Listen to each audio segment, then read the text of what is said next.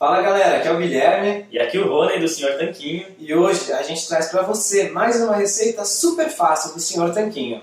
Dessa vez é uma receita de nossa coletânea de receitas low carb para café da manhã. Ela é uma receita bem fácil mesmo, tanto que só vão dois ingredientes. Trata-se do bolinho de chuva salgado à base de couve-flor. Vamos ver como se faz.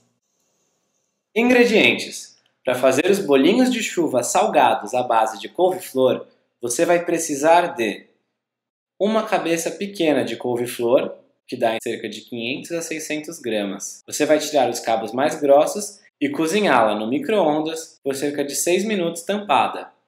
Queijo parmesão ralado. Usamos cerca de 70 gramas para fazer a receita. Opcionalmente, você pode utilizar temperos como sal, pimenta, azeite e orégano. A primeira coisa, a gente tirou aqueles talos mais grossos da couve-flor e deixamos só esses talos juntamente com as flores da couve-flor. Ficou desse jeito aqui.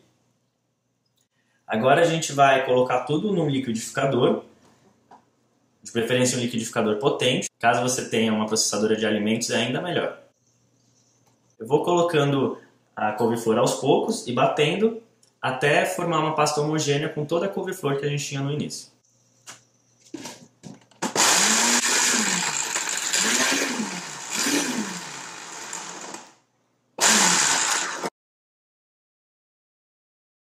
Após muitos minutos batendo no liquidificador, a couve-flor cozida, ela ficou assim, ó, parecendo um purê mesmo de couve-flor. Agora a gente vai pegar punhados desse purê, espremer ele para tirar o excesso de água e passar no queijo ralado para depois colocar na forma untada. No caso a gente untou com azeite.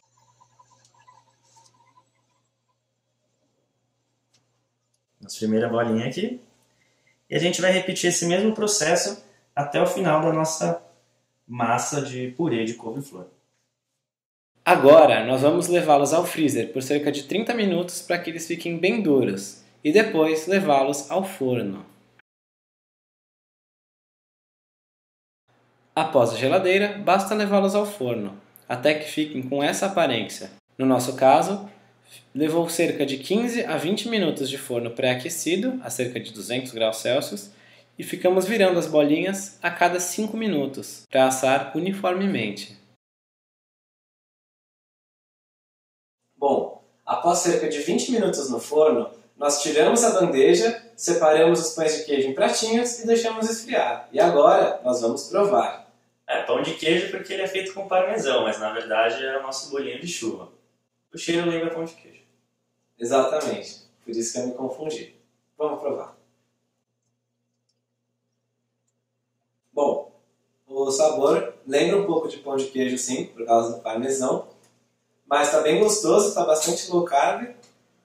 Como vocês viram, a gente usou orégano, sal e pimenta e achei que foi uma boa combinação.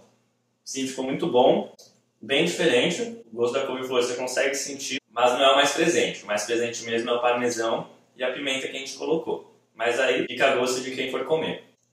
É, o importante é que essas receitas sirvam para você usar a sua criatividade e fazer do jeito que você mais gosta. Sempre com muita saúde e criatividade. É isso que a gente busca aqui no Senhor Tanquinho. Lembrando que essa é uma das mais de 57 receitas que compõem nossa coletânea de receitas de café da manhã low carb. Você pode ter mais informações sobre a coletânea clicando no link aqui no canto da tela. Bom, ficamos por aqui esperamos que você tenha gostado. Um forte abraço do Senhor Tanquinho.